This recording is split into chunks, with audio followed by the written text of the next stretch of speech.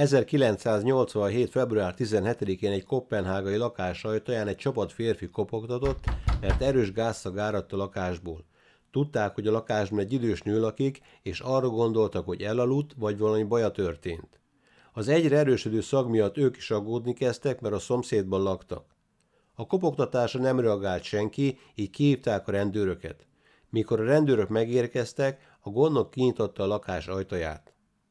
Egy gázszerelő is érkezett a rendőrökkel egy időben, így a két rendőr és a szerelő bementek a lakásba, hogy elzárják a gázt és kimenekítsék a valószínűleg ájult idős nőt. A rendőrök miután kinyitották az ablakot, szétnéztek a lakásban, és hamar rájöttek, hogy sokkal komolyabb dologról van szó, mint azt ők hitték. Ezzel az esettel kezdődött Dániában egy 23 évig tartó nemi erőszak és gyilkosság sorozat.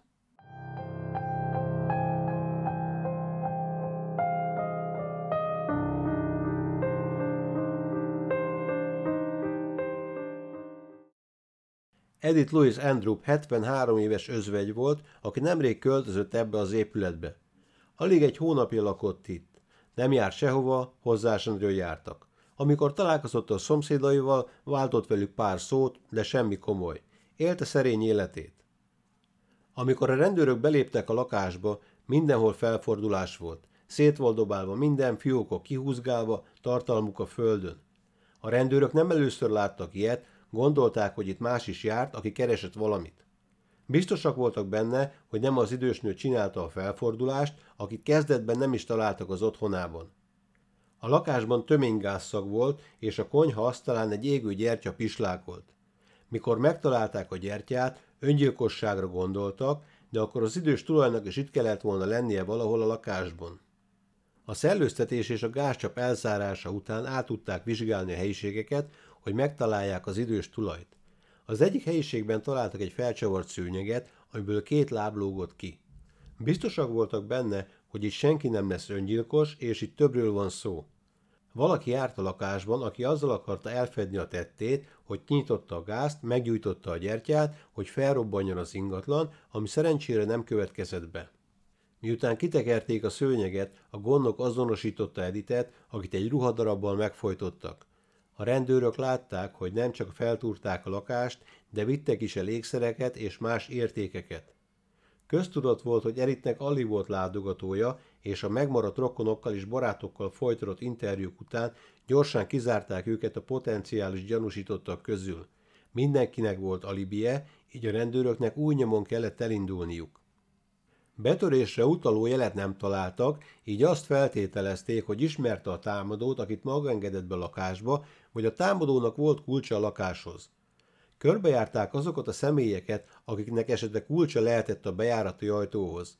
Ilyenek, mint a korábbi lakók vagy a gondok, de ez sem vezetett sehova. A helyszínen a rendőrök a ház körül több helyen cipőnyomokat találtak. Az udvaron volt néhány talplenyomat egy Adidas cipőtől, így ennek a gazdáját próbálták megtalálni, mert Editnek nem volt ilyen cipője. A válasz elsőre nagyon egyszerűnek tűnik. Edith épp most költözött be a lakásba, ami azt jelentette, hogy a három költöztető férfinek volt lehetősége átnézni a cuccait. Segítettek neki összepakolni és bepakolni az új lakásba, és közben lehetett alkalmuk megfigyelni, hogy milyen értékei vannak Editnek. Mivel más nyomuk nem igazán volt, így utána néztek, kik voltak a költöztetők, hát ha van mit mondaniuk a rendőröknek. Három ember segített költözni az idős nőnek, így ezeket felkeresve próbáltak újabb információhoz jutni. Miután kihallgatták őket, az egyikőjük felkeltette a rendőrök figyelmét, ugyanis olyan Adidas cipője volt, mint amit kerestek. A márka, a méret és a minta tökéletesen passzolt a tetthelyen talált nyomokhoz, a cipő pedig Marcel Luha Hensen tulajdona volt. Első pillantásra úgy tűnt, hogy megvan az emberük, akit hihetetlenül gyorsan megtaláltak, csak az volt a baj, hogy Marcelnek volt a libie. A nyomozók két különböző időpontot adtak meg, egyet a halálbeáltának, egyet pedig a gáz megnyitásának. A fő elmélet szerint Editet a támadója megölte, majd ellopta az értékeit, így a lakást és a holtestet másnapig pontosan úgy hagyta, ahogy azt a rendőrök megtalálták. Ezután a nyomozók a levegőben maradt gáz mennyiségét használták fel a második időpont megadására, és megállapították, hogy a gyilkos másnap délelőtt 10.30 körül tért vissza az ingatlanba, kinyitotta a tűzhely mind a négy rózsáját, és egy égő gyertyát hagyott az asztalon, abban a reményben, hogy felrobban a lakás, és nem maradnak nyomok. Csak a szerencsének volt köszönhető, hogy nem robbant be a gáz a pár méterre lévő gyertyától, és kint a szomszédok megérezték a gázszagot. Edith lakásán nem volt nyoma erőszakos behatolásnak, de Edith ismerte Marcelt, mivel ő volt az egyik költöztető. Aztán ott volt a cipőlenyomat, amely megegyezett az általa viselt cipővel, amit több helyen is megtaláltak a helyen. A padlón szétszórt papírokon is láthatóak voltak, ami bizonyíték volt arra, hogy aki a kertben hagyta a cipőnyomokat, az járt a lakásban is. Marcelnek pedig volt ilyen cipője. A cipőlenyomaton kívül a gyilkos nem hagyott maga után más nyomot, sem DNS mintát. Mivel a rendőrök úgy számolták a gáz mennyiségéből, hogy azt valamikor reggel 10 és 10.30 között nyitották ki, Marcel Hensen pedig elmondta a nyomozóknak, hogy egész nap a kollégáival dolgozott, így nem tudott egyszerre két helyen lenni. Marcel két kollégája megerősítette az alibiét, valamint olyan helyen dolgoztak, ami távol volt Edith lakásától, így hiába találták meg a tökéletes cipőtalp lenyomatot, nem tudtak Marcellel mit kezdeni. A rendőrség hétszer hallgatta ki őt. Bevetettek minden rendőrségi cselt, hogy szóra bírják, de mivel egy rutinos bűnöző volt, tudta, hogy a rendőrök semmit sem tehetnek vele, főleg, hogy van alibie. El kellett engedniük Marcelt, így újabb nyomok hiányában Edith ugye lassan kihűlt.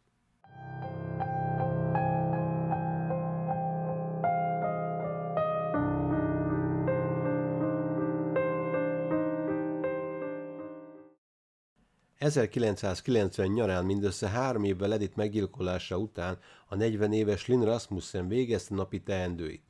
Estét a Quick magániskolában töltötte, ahol dánul és angolul tanított. Elment bevásárolni, és volt még néhány órája, hogy a férje hazaérjen. Ilyenkor szabadidejét a hobbiának szentelte. Mivel az idő kellemes volt, összeszedte túrázó tucait, biciklire ült, és kiment a közeli erdőbe, ahol távcsővel figyelte a madarakat. Lin szerette az állatokat, és amikor csak alkalma volt, kiment a közeli természetvédelmi területre, és csak figyelte természetben az állatokat. Épp most vette egy új távcsövet, amit ki szeretett volna próbálni. A férje, Karsten Jensen este hat körül jött haza, és arra számított, hogy a feleségét otthon találja, de a ház üres volt és csendes. Eleinte nem gondolt semmi rosszra, nem először fordult elő ilyen. Azt gondolta, Linnek bent kellett maradnia az iskolában, vagy valami közbejött, és elfelejtette neki megemlíteni.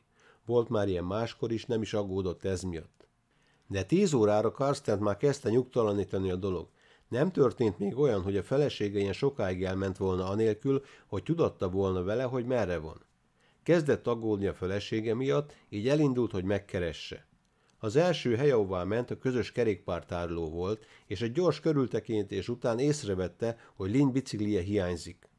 Ez egy elég jellegzetes 25 éves bicikli volt. Sötétkékre volt festve, és Karsten bárról felismerte volna, így amikor látta, hogy hiányzik, tudta, hogy valami nincs rendben. Ha a bicikli nem volt ott, az azt jelentette, hogy Lin valami távoli helyre ment. Az első gondolata az erdő volt, mert oda járt leggyakrabban. Azonnal értesítette a rendőrséget, és másnap reggel elkezdték keresni a környék parkjaira és természetvédelmi területeire összpontosítva. Karsten észrevette, hogy a távcsöve is hiányzik, és arra gondolt, hogy Lin elment madárlesre, és valami történt vele. Helikopterrel és hullakereső kutyákkal kezdték átfésülni a környék erdeit a rendőrök, valamint próbáltak információt kapni a lakosságtól, hogy látta-e valaki. Szemtanúk arról számoltak be, hogy egy Lin leírásának megfelelő nőt láttak Ama Fülennél délután 5 és 3 hét között, ami tovább szűkítette a területet, amelyet át kellett vizsgálniuk. Néhány nappal később egy helikopter elérte az első nagy áttörést a Lin ügyben. 1990. szeptember 3-án a kerékpárját megtalálták egy fának támasztva, körülbelül 25 méterre az ösvénytől bent az erdőben. Első pillantásra úgy tűnt, hogy Lind besétált az erdőbe, amikor nyomtalanul eltűnt. De valamivel több mint egy órával később a rendőrség feltárta az igazságot. Egy holtestkereső kutyaszagot fogott, és egy halom ághoz és levelekhez vezette a rendőröket. Lint egy ruhadarabbal megfojtották hátulról, ruhágy spermafoltok borították, bár nem mutatta jelét annak, hogy megerőszakolták volna. Az ezüst gyűrűjét és az óráját ellopták, de senki nem látott vagy hallott semmit. Hisz szemtanúk vagy bármilyen nyom hiányában minden a helyszínen talált DNS bizonyítékokon mullott. A bőséges DNS minta ellenére nem tudtak szemét kapcsolni az ügyhöz, mert az adatbázisban nem szerepelt az a minta, amit kerestek, illetve 1990-ben még nem volt olyan DNS regisztráció, amelyen keresztül a törvényszéki genetikusok elvégezhették volna az esetleges elemzést. Mivel friss információ nem érkezett az ügyben, és szép lassan a kihűlt ügyek közé került.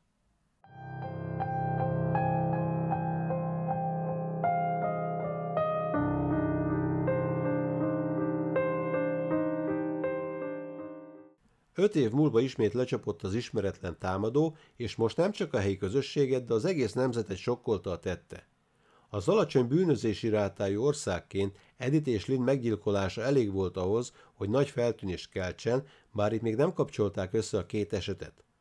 Október 19-én éjjel egy férfi betört egy villába Ama szigetén. Az emeleten egy 23 éves nő tévézett. A nő tudta nélkül a pinceablakon belopózott a házba. Lassan felosont az egy emelettel fejebb található konyhába, és magához vett egy konyhakést. Először az emeletre ment abba a szobába, ahonnan a fény szűrődött ki. A nő már aludt, de a tévé még be volt kapcsolva. A 23 éves nő azért volt a házban, mert a testvére éjszakára ment dolgozni, és addig ő vigyázott a 15 éves lányára. Amikor éjszaka dolgozott, megengedte a 15 éves lányának, hogy áthívja a barátnőit, akik egy 14 éves ikerpár voltak. A behatoló a lány szobájába lépve a nyakához szorította a kést, majd amikor az felriadt, utasította, hogy nézze a padlót, és ne nézzen az arcára. Átvezette őt abba a szobába, amelyikben a másik három tinédzser aludt. Mind a négy lánynak a fejére húzott egy-egy párna húzatot, amit ráerősített a fejükre, majd többek között ugráló kötéllel összekötötte a kezüket a hátuk mögött. Aztán a lányoktól megszerezte a TB kártyájukat és az anyabankkártyáját, és azt követelte, hogy adják meg neki a kódját is. Végül mondta nekik, hogy most egyenként ki fogja hallgatni őket, és ha valaki megpróbál megszökni, itt helyben megöli azt, aki vele van. Az ikerpár egyik tagját a fürdőszobába vonszolta, az ajtót nyitva hagyta és figyelmeztette a többieket, hogyha megpróbálnak elszökni, megöli a nála lévő lányt. Mivel a lányok nem mertek elszökni, és a többiek képségét sem akarták veszélyeztetni, meg nem is nagyon tudtak volna, mivel a fejükön volt a párnahúzat, így a támadójuk egyesével bevitte őket a fürdőszobába, és mind a négy lányt megerőszakolta. A nem erőszakot követően az elkövető házkutatást tartott, és egy bőröndöt talált ékszerekkel. A 15 éves lány édesanyja ékszertervező volt, és később azt nyilatkozta, hogy az elkövető csak nem 70 ezer dán korona értékű ékszert rabolt el. A bankkártyájáról több részletben 8 ezer koronát vett fel. Ez akkori értékben olyan két és fél három millió forintnak felelt meg 1995-ben. Mielőtt magukra hagyta a rémült lányokat, kényszerítette őket, hogy mondják el a címüket és a nevüket, amit felírt és magával vitt. A törvényszéki szakértők centiről centire végigjárták a házat, de egyetlen ullenyomatot sem találtak az elkövetőtől. Nem okozott nagy meglepetést, amikor a lányok a kihallgatásokon közölték a rendőrökkel, hogy kesztyűt viselt. Mivel a lányok nem mertek a férfire nézni, így el sem tudták mondani, hogy nézett ki.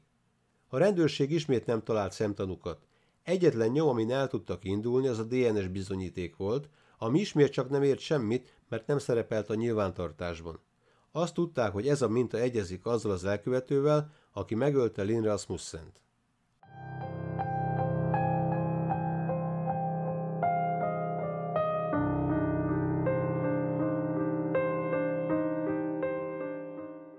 2005. május 3-án, nem sokkal reggel 6 óra előtt egy 24 éves diáklány aludt egy Erztőben található iskola diák szállásán.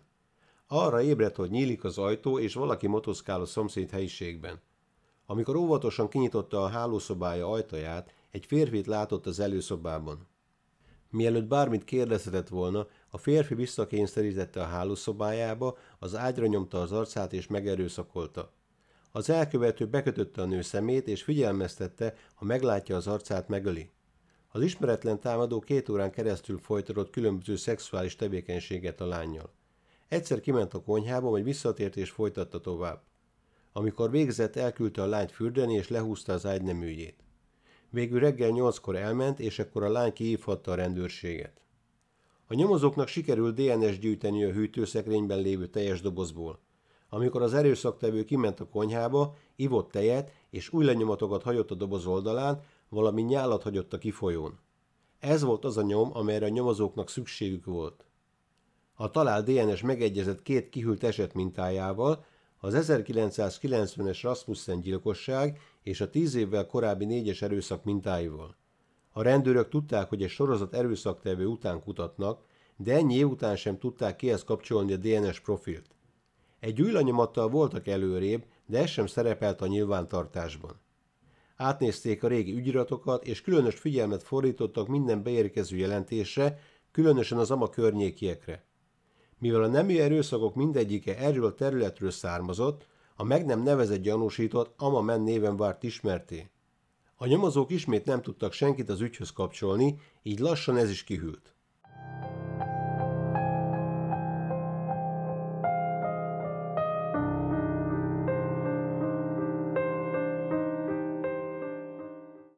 ...2010. szeptemberében az egyik reggel olyan négy óra körül a 17 éves Mandy Johnson egy buliból sétált hazafelé.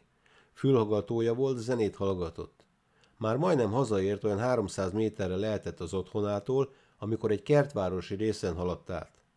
Nyugodtan gyalogolt hazafelé, és énekelte azt, amit hallgatott, amikor észrevett egy férfit maga előtt. Az éneklés miatti zavarában Mendi kikapcsolta a zenét, lehajtotta a fejét, és elsietett a férfi mellett. Már épp átért a kertek túloldalára, amikor közeledő lépteket hallott a háta mögött. Mielőtt elszaladhatott volna, a férfi megragadta és eltakarta a száját, hogy ne sikoltson. A lány visszatámadott, rúgta, ütötte a férfit, de ez nem tántorította el. A földre lökte, és Mendi rájött, hogy meg akarja erőszakolni. Azon gondolkodott, hogyan tudna megmenekülni szorult helyzetéből. Ekkor közölte a férfival, hogy azt más rohama van.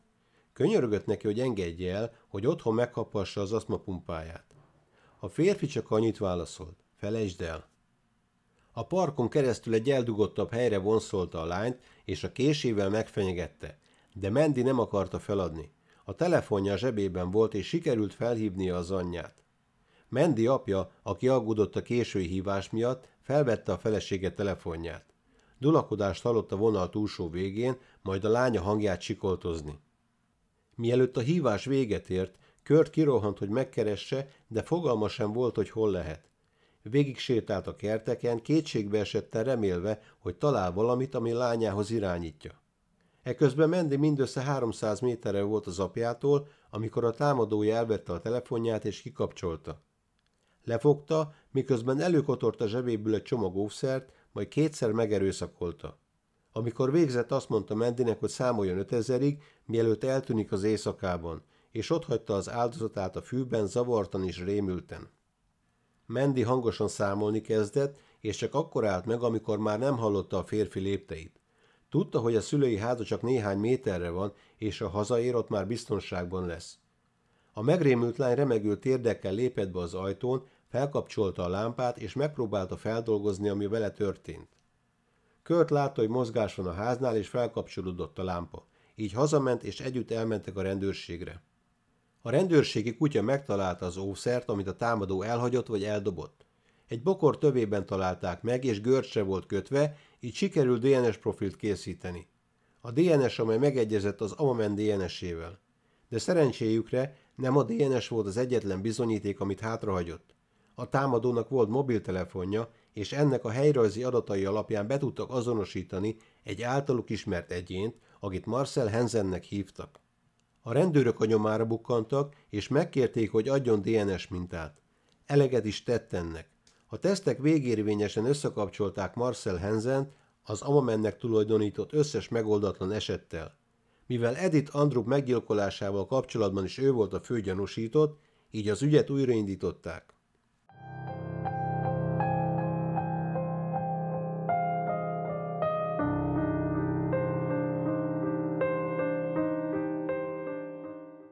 Marcel 1965. októberében született Ama szigetén, ami Dánia fővárosának, Kopenhágának a déli részén található. A barátok és a család jónak jellemezték a gyerekkorát, ahol a család minden este összegyűlt, hogy közösen vacsorázzon és beszélgessen a dolgaikról. Anyja német, apja Dán volt. Gyerekként sok barátja volt, és legtöbbször az ő házuk körül bandáztak. Iskolában nem volt jó tanuló, inkább a közepesek közé sorolnánk őt, de mindenki szerette, mert egy igazi társasági ember volt. Jó volt a futballban, de Marcel mindenek előtt egy igazi csibész volt. Nem igazán mertek vele kötözködni már egészen kisgyerek korától, mert bárkivel leállt verekedni. Nem számított a nagyobb vagy többen voltak, bárkinek felállt. Tinédzser korában hamar bűn útjára lépett, és lassan lépdelt felfelé a bizonyos bűnözői szamárlétrán. A bolti lopás mellett a besúranás volt a specialitása. Bármilyen félelem nélkül besúrant akárki lakásába, még akkor is otthon voltak, vagy épp aludtak. Egy gyerekkori barátja később mesélt a rendőrségnek egy alkalomról, amikor együtt dolgoztak. A barát volt a figyelő, és Marcel besúrant a háztulajdonosok hálószobájába, miközben azok aludtak. Marcel csendesen kinyitotta az élésszekrényeiket, és elvette azt, ami érdemes volt, anélkül, hogy felébresztette volna őket, és mielőtt bárki észrevette volna. Fiatal korára egy tapasztalt bűnöző lett, aki szerette is azt az életet. Munkája és a növekvő hírneve azonban nem csupán a büszkeséget jelentette Marcel számára. Barátja később elmagyarázta, hogy Marcel látszólag élvezte is az izgalmat. Mint az ilyenkor lenni szokott, a hírnévhez az is társult, hogy a rendőrség látókörébe került, mire a 20-as éveit megkezdte. Képzett futbolista volt, sokáig focizott a Sandby Bolt klubban. Letartóztatásáig aktív és közkedvelt futballedző volt az FC Amánál és végül az Ébi Torminél. Letartóztatása előtti napon mondott le megbizatásáról. Kb. 12 éven keresztül dolgozott a Scandinavian Airlines-nál éjszakai műszakban, mint repülőgép takarító. Ismerősei elmondása alapján egy igazi példakép volt a fiataloknak. Sportol, sosem ivott alkoholt a gyerekek előtt, igazi társasági ember volt. Nőkkel is hamar megtalálta a közös hangot, ezért nem is értette senki, miért kellett kettős életet élnie. Hansen minden vádpontban ártatlannak vallotta magát. Két gyilkosságban, hat nem erőszakban és egy gyújtogatási kísérletben találták bűnösnek.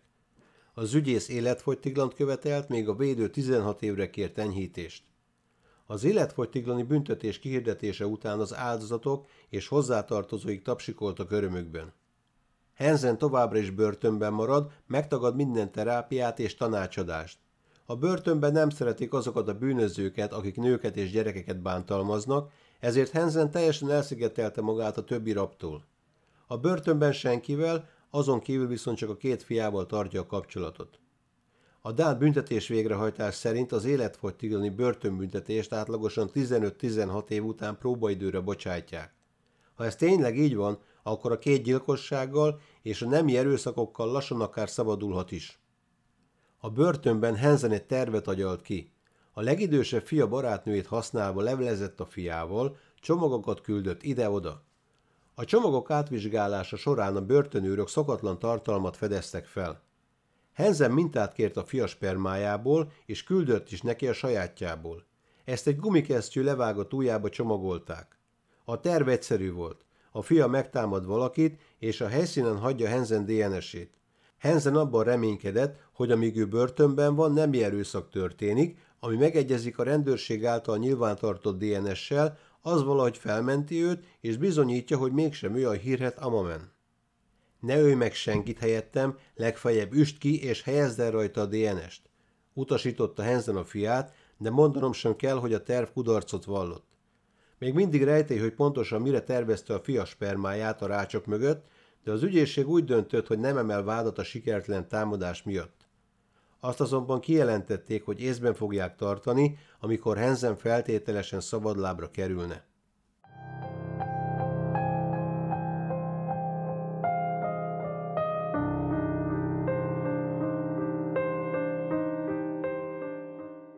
Fontosnak tartom megemlíteni, hogy többször is lett volna lehetőség elkapni Henzent. Marcel Hensen nem sokkal Edith Andrup meggyilkolása után megkereste Tino Loessint. Volt nála egy fadoboz ékszerekkel, amit megmutatott Tinónak, aki vásárolt is belőlük. Számos ötvöst ismert, akik segítettek újraolvasztani az ékszereket. Néhány nappal később Tino Loessin látott egy képet az újságban a meggyilkolt Edith Andrupról. A nyaklánc, amelyet az idős nő viselt, a képen pontosan úgy nézett ki, mint az a nyaklánc, amit Tino előző este Marcel Henzentől vásárolt. Erre az információra lett volna szüksége a kopenhágai rendőröknek az ügy megoldásához. De Tino Loessin úgy döntött, hogy hallgat a gyanújáról. Részben a rendőrségtől és a saját bűneitől való félelem miatt, de épp úgy tartott Marcel Henzentől is, akiről tudta, hogy megölte Edith Andrupot. A másik alkalom, amikor a sok tanú közül az egyik, aki a Lin Rasmussen gyilkosság utáni napokban felhívta a rendőrséget, egy 30-as éveinek közepén járó férfi volt, aki ugyanazon napon kerékpározott a természetvédelmi területen, mint amikor Lin Rasmussen megölték. A férfi felhívta a zamai rendőrséget, hogy beszámoljon nekik két személyről, akiket augusztus 29-én látott a területen.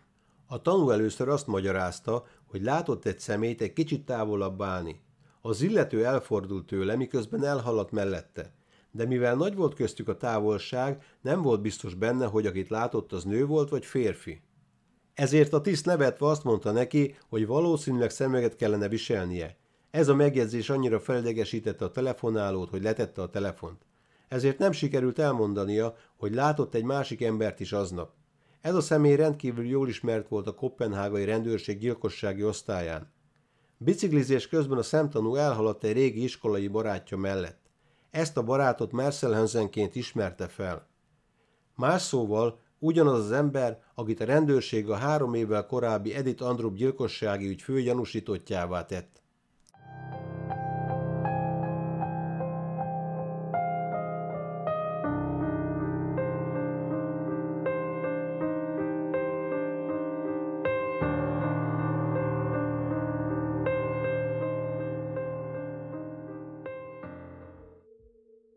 1990 nyarán két fiatal férfi látta, mint a 28 éves Annette Just Olessen belép amai lakásának lépcsőházába.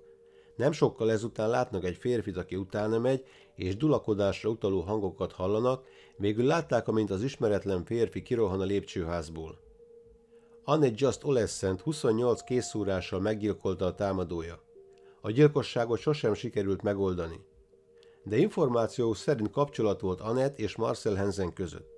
Ők ketten állítólag találkoztak néhány héttel a gyilkosság előtt egy kis szigeten, amelyre Annett látogatott el, hogy részt vegyen egy fesztiválon.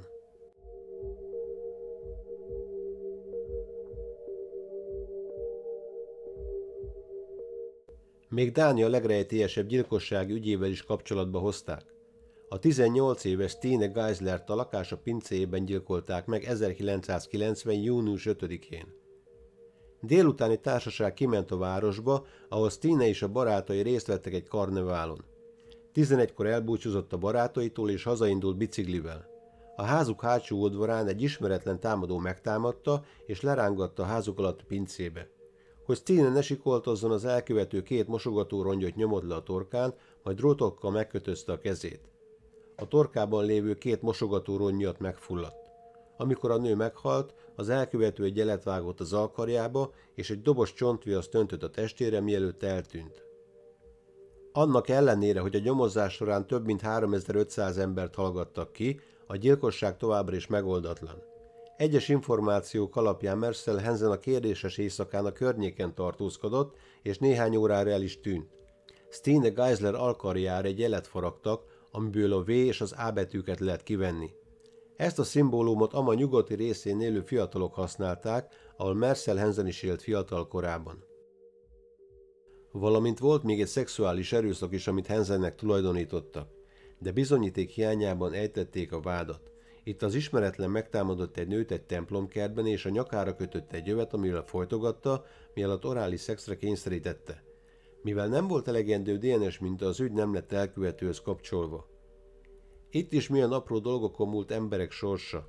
Ha a rendőr nem cinkeli le a bejelentőt, nem történnek további erőszakok. Ez volt Marcel Hansen története, ha tetszett, lájkold, iratkozz fel, kommentelj, meg ilyesmi, találkozunk legközelebb.